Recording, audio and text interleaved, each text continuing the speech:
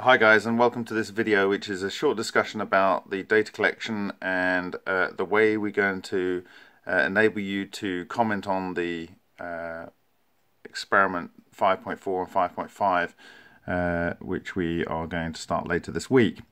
So 5.4 uh, is all about 18 oxygen and 62 nickel.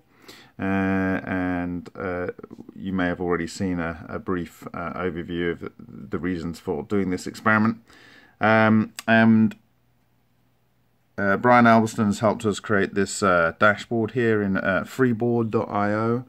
Uh, it's an online uh, system for enabling you to create uh, Internet of Things data representations on the web. And let me just run you through some of the, the information that you can see here on the screen.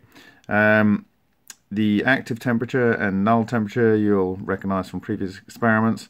Um, uh, that's a thermocouple and we have the Optris temperature here and currently this is set to the hottest 9 average pixels in the whole field of view of the Optris camera. That's uh, the Optris PI160. And then we have the heater coil drive and currently we're feeding the power, uh, volts and amps. Uh, we're just going to uh, hook up the uh, watt hours total energy since start of experiment. Then down here we have the ambient temperature for reference and also we have this uh, sodium iodide detector temperature. This may allow us to compensate for drift if the sodium iodide head gets warm. Um, more on the so sodium iodide detector, there will be an output of region of interest at 511 keV. This is the the one that we hope to see uh, in uh, this uh, 5.4 experiment. Uh, and potentially also in 5.5.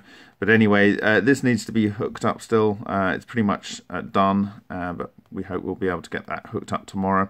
And so this is going to give you the counts, counts per minute, and so on. Um, for this particular uh, gamma that we'll be looking for, which is the uh, decay of 18 fluorine uh, that's created by a PN reaction from 18 oxygen over 109 minutes or so. It'll decay uh, with a 633 uh, positron, which hits an electron and annihilates and gives two 511 keV photons, which we should see outside the cell, uh, assuming PN uh, is able to create these 6.7 megaelectron volt protons. Uh, the spare counter here may be another Geiger counter. Uh, I'll sort of back up. This Geiger counter has uh, is a modified GMC 320 Plus, which we identified in 5.2 as pretty useless for our needs. Uh, and we've added an LND7317, which was used uh, in uh, GS 5.3. Uh, up here you'll see the pressure, uh, and this is a PSI absolute. So you'll be able to see when that's a, a vacuum and when we've got pressure. Uh, here's our helium-3 detector. This one's not hooked up at the moment. This is the second helium-3 uh, detector. Um, the uh, sorry, the first, but it's not hooked up. The second helium uh, 3 detector is uh, hooked up at the moment. In fact, no, maybe they're not both not hooked up. We've just got some static values there. Anyway, they will be. They they have been. And down here is our 6 lithium iodide detector uh, for neutrons also. And uh, this is operating at the moment. Okay. So this is a, a brief overview and uh, maybe give some more information on how to read this better. Now, if you go to the temperature, power and pressure chart, uh, we've got uh, pretty much all of this hooked up at the moment, except the sodium iodide detector down here. That's the sodium iodide uh, temperature. Uh, but again, uh, some of the some of the details, but graphing, uh, real-time graphing for um, the power here and for the Optris temperature, hottest spot uh, hardest 9 pixels. The active uh, side of the uh, glow stick, the null side of the glow stick, and the pressure down here, this red line. Um, I will show you how to really use these graphs and export graphs and zoom around uh, in another video. Uh, the second uh, graph set is for the neutrons, uh, detectors, Geiger counters, and gamma counter uh, uh, region of interest.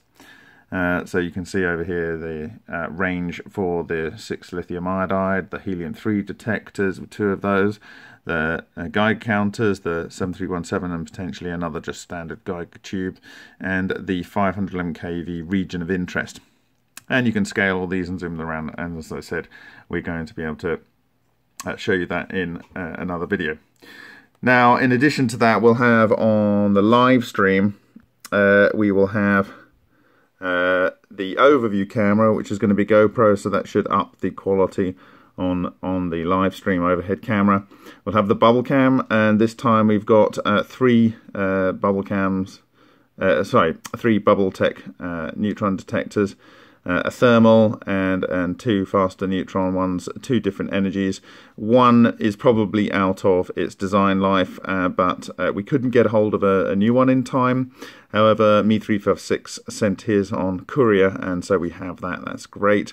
Um, there will be Optri Optris video uh, uh, image, which we'll also be saving as a Ravi.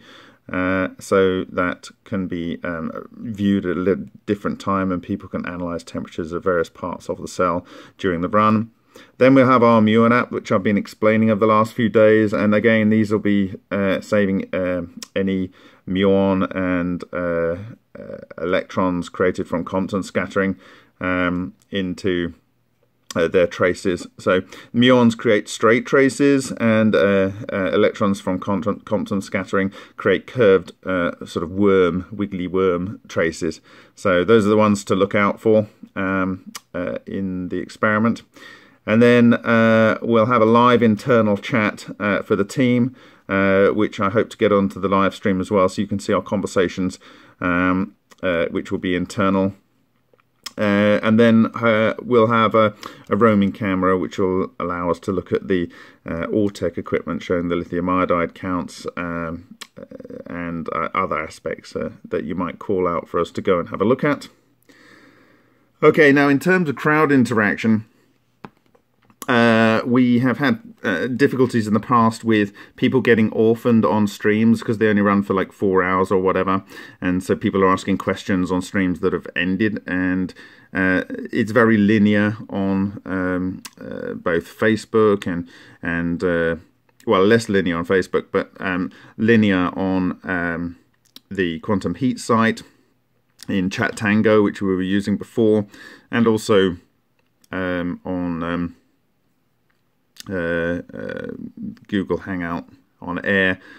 Uh, so we're going to go to something completely radical. Um, it's something that I believe probably will see the end of Facebook. That's a very bold claim, but probably end of Facebook and uh, uh, uh, Twitter and, and Reddit and so forth. And that is called Steemit here. it's a blockchain based social network uh, where rather than uh, some big conglomerate owning the the value of the work that you do for putting blog posts up and commenting on blog posts, the people that create the content in the uh, social network, they actually are the ones that the owners of that, uh, and in theory, they are the ones that get the reward but also you as contributors, um, both for commenting on and curating effectively the content that is posted. You actually get rewards as well in the form of uh, uh, various Steem currencies, some of which are tradable for, for Bitcoin and even uh, straight dollars.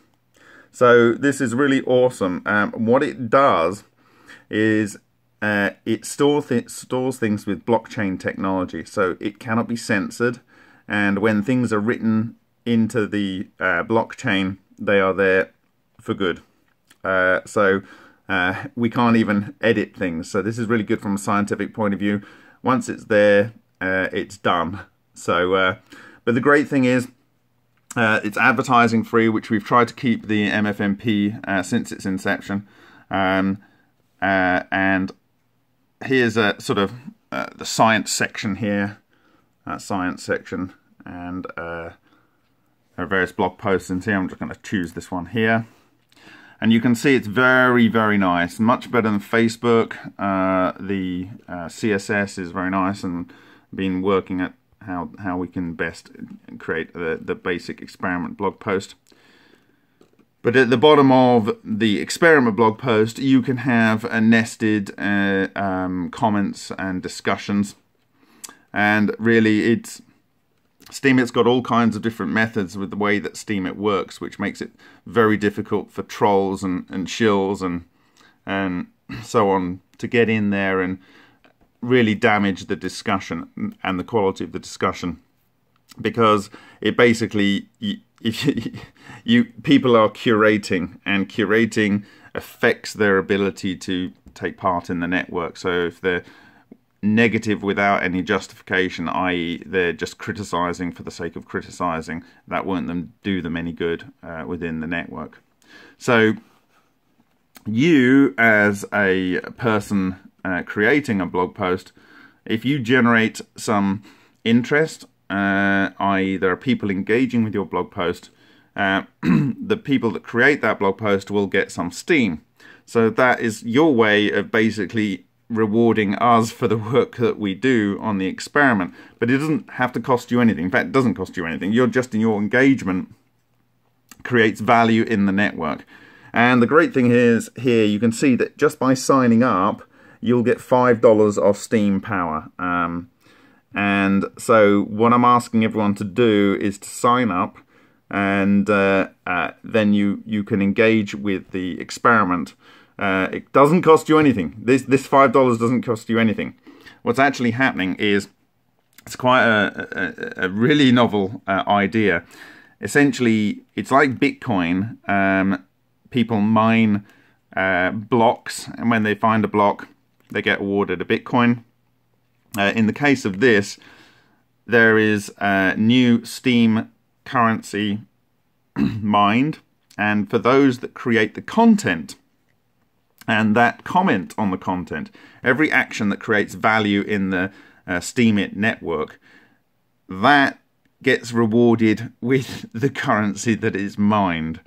Okay, so you actually effectively get rewarded for uh, building the social network. And you can also have ownership tokens. So there's various types of uh, ownership. So this person here, uh, Mr. Boom, uh, here, um, you, this is his uh, blog post, um, his uh, uh, sort of site, like it's like a Facebook site, but you see no adverts and only his blog posts. So these would be our experiments or, or um, you know, some article that we might publish. And uh, this is the one that you've just just seen and you've seen that uh, they are uh, the guys being rewarded like $24 it's you know we don't expect to cover our experiment costs with this um, but at least we know uh, what what is generating value uh, for uh, people following the project. What you can do is you can see the person's wallet And this is where it gets a bit complicated. I don't really want to go into it, but you can look into it. Um, uh, but you can see they've got 2,000 value in their, their Steem wallet.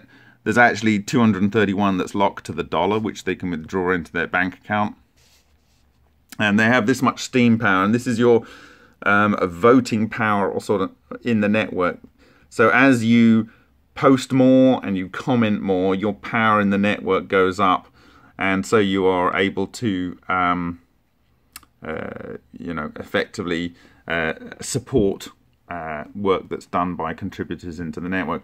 So yeah, that's that's essentially it. So um, what this will allow us to do is to have proper nested uh, commentary. Um, so I can close down this nest here. So if you can imagine, four or five people are commenting and then people are responding. That's all I wanted to say. The heat has just come on here.